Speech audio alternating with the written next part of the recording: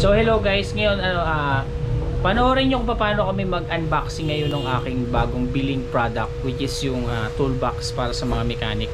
Actually part to nung ano ko eh, ah, dream na magkaroon talaga ng complete set ng lahat ng main ng tawag dito ng mga tools para sa mga mechanic saka sa aking upcoming ano eh, may upcoming akong project na parang missionary or what basta yun. So, ito yung isa sa mga part na kailangan kong munang bunuin bago namin gawin yung ah, part na yun. So, asahan nyo, antayin nyo yung sinasabi kong yun. Actually, matagal ko na itong ginagawa and then hoping na maging successful last this days. So, ah this time pala, sorry, this time. So, ito siya.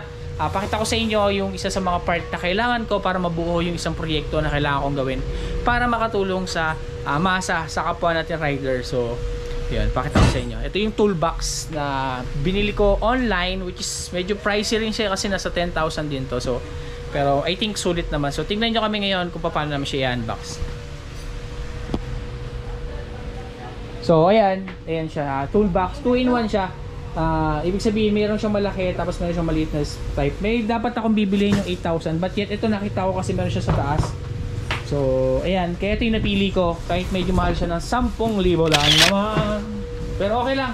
Ah, I think it's a worth it product. Ah, worth, worth it naman to kaya hindi ako manghihinay ang gastusan siya. Yun.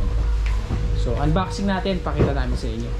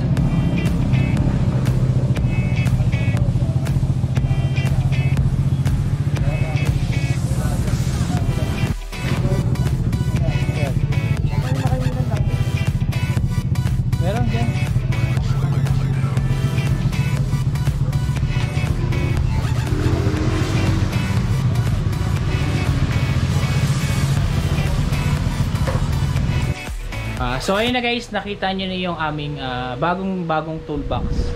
So makikita nyo uli yan sa mga previous na videos na gagawin ko. So magiging kasangkapan yan sa pinaplano kong ah, panibagong history ng vlog. So it's another mo ah, it's another ano ah, kind of ah, pagtulong sa ating mga riders. So abangan nyo. So isa pa lang yung tools na meron tayo hoping mabuo natin lahat yon So thank you.